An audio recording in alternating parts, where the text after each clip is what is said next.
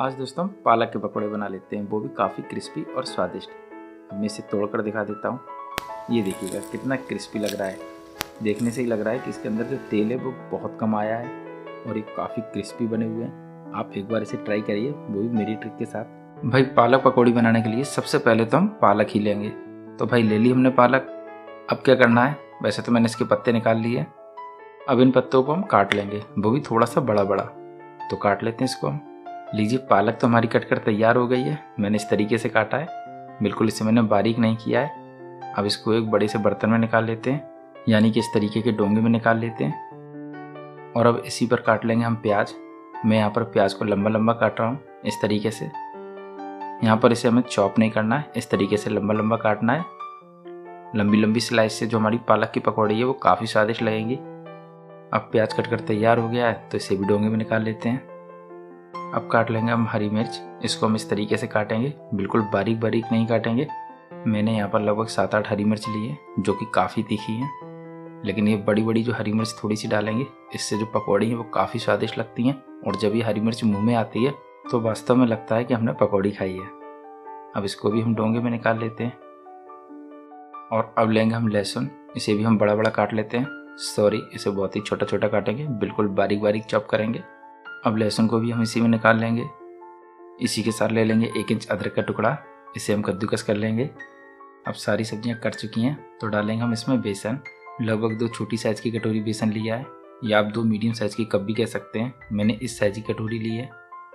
और अब डालेंगे इसमें हम थोड़े से मसाले, जिसमें मैंने थोड़ी सी हल्दी डाल दी है, लगभग आधा टेबल स्पून जितनी होगी।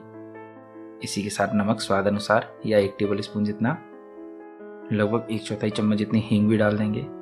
और इसी के साथ डाल देंगे आधा टेबल स्पून जितना लाल मिर्च पाउडर एक कटोरी चॉप की हुई हरी धनिया, और अब इन सभी को हम अच्छी तरीके से मिला लेंगे। इसे हम पहले सूखा सूखा इसलिए मिलाएँगे ताकि हमें पता चल सके कि इसमें हमें कितना पानी डालना है। क्योंकि पानी अगर ज़्यादा हो जाएगा तो जो हमारी पकौड़ी है, वो ज़्यादा तेल पिएगी। और जो पकौड़ी का एकदम से क्रिस्पी स्वाद है, वो भी नहीं आएगा। इसीलिए इसे हम पहले मिला लेंगे, तब बिल्कुल हल्का सा पानी डालेंगे।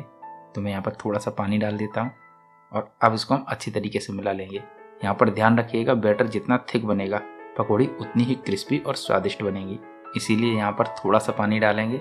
आप चाहें तो थोड़े से पानी के छींटे से भी काम चला सकते हैं। बस हमको जो इसका बैटर है वो काफ़ी थिक रखना है।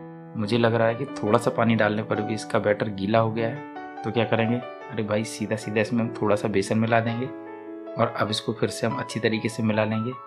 अब पकौड़ी के लिए तो बैटर तैयार हो गया है। देखिएगा कितना थिक बैटर बना हुआ है। देखने से ही लग रहा है काफ़ी थिक है।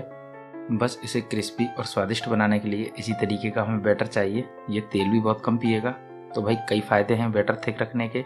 अब पकौड़ी के लिए बैटर अच्छी तरीके से बन चुका है। तो अब क्या करना है? अरे भाई सीधी सीधी बात है कि गैस की तरफ़ चलना है और तेल भरी हुई कढ़ाई रख देनी है और तेल को अच्छी तरीके से गर्म हो जाने देना है। बस यही दो काम करने।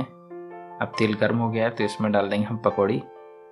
मैं इसमें इस साइज़ की पकौड़ी डाल रहा हूँ। आप चाहें तो पकौड़ी का साइज़ थोड़ा सा छोटा भी कर सकते हैं। लेकिन जो पालक की पकौड़ी है वो थोड़े से बड़े साइज़ में ही ज़्यादा अच्छी लगती है।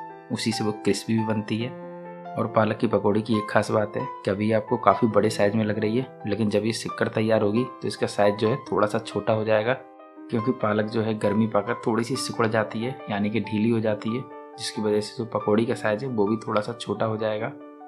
अब पालक की पकौड़ी को हम पलट लेते हैं। देखिएगा, अब इसका साइज़ थोड़ा सा छोटा हो गया है, इसीलिए मैंने यहाँ पर थोड़े से बड़े साइज़ की पकौड़ी डाली थी।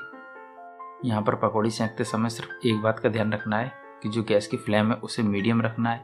अगर स्लो कर देंगे तो भी तेल ज़्यादा पी जाएगी और अगर बहुत ज़्यादा हाई रखेंगे तो अच्छी तरीके से नहीं सेक पाएगी।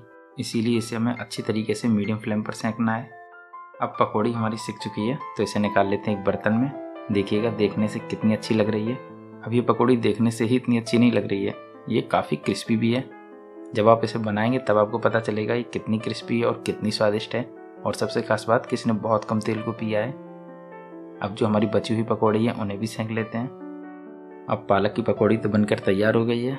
तो अब आप इसे हरी मिर्च की चटनी या दही की चटनी, नारियल चटनी, जिससे भी चाहें, उससे सर्व करें, जिसके भी साथ ही आपको काफ़ी स्वादिष्ट लगे। मैं फ़िलहाल इसे चाय के साथ खाने जा रहा हूँ, क्योंकि बगल में बन रही है गर्मा गर्म अदरक वाली चाय। तो भाई, उससे ज़्यादा तो एक किसी भी चटनी के साथ पकौड़ी अच्छी नहीं लगेगी। तो कब बना रहे हैं? स्वादिष्ट स्वादिष्ट और क्रिस्पी क्रिस्पी पालक के पकौड़े। जब बनाएँ, अपना फीडबैक हमें ज़रूर दें। और अगर ये रेसिपी पसंद आई हो तो लाइक करें, दोस्तों के साथ शेयर करें। और हमारे चैनल पर पहली बार आए हो तो सब्सक्राइब भी कर लें और उसके बगल का जो घंटा यानी कि बेल आइकन उसे भी दबा दें ताकि इसी तरीके से नई नई रेसिपियाँ आप तक सबसे पहले पहुँच सकें। और ये वीडियो अंत तक देखने के लिए आपका दिल से थैंक यू